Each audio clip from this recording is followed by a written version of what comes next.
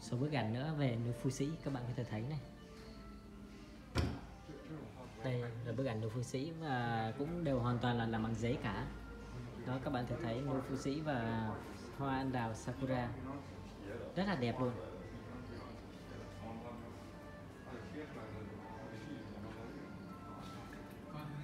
Núi Phú Sĩ này. Phải nói mình thấy cực kỳ đẹp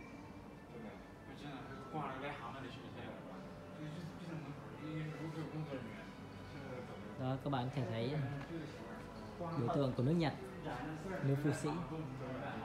Đó, và những bức thành như thế này.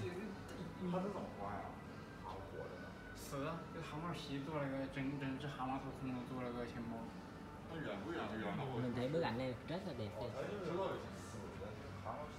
và các bạn có thể thấy thêm nữa là kimono, biểu tượng của Nhật Bản những cô gái mặc bộ đồ kimono, lúc nào cũng luôn thu hút sự chú ý.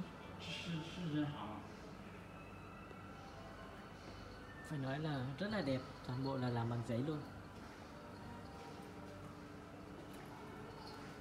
Đây là toàn cảnh à, trong một cái góc, một góc phòng đây. Đang được trưng bày toàn bộ là cái à, bức tranh mà làm bằng giấy. Các bạn có thể thấy bức phòng này tuy không có to rộng lớn nhưng mà nó chứa những cái à, tinh hoa nghệ thuật của Nhật Bản. Đó, các bạn có thể thấy này. Rồi cái căn nhà nữa, phải nói là rất là đẹp, rất là cực kỳ là đẹp.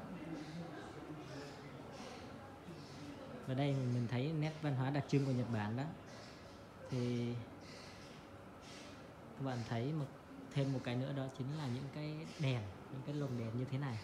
Các bạn có thể thấy đây, lồng đèn đây.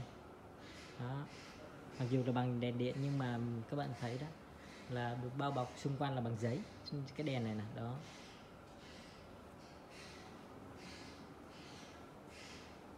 Và các bạn có thể thấy được là những cái ờ, khối gỗ trúc đó khối gỗ trúc như thế này. Ở bên Nhật Bản đó, thì các bạn thấy trúc thì được sử dụng nói chung ờ, rất là nhiều cái công dụng. Và đây là một số cái biểu tượng búp bê bên Nhật. Khi mà bạn đến Nhật á, du lịch hay là đi uh, đi chơi đi uh, sang thăm người thân gì đó thì các bạn dễ dàng bắt gặp những hình ảnh như thế này. Đây là trước mặt mình đó là một cái bộ đồ đó samurai. Đây là biểu tượng nước Nhật này. Đó nhìn rất là đẹp chưa?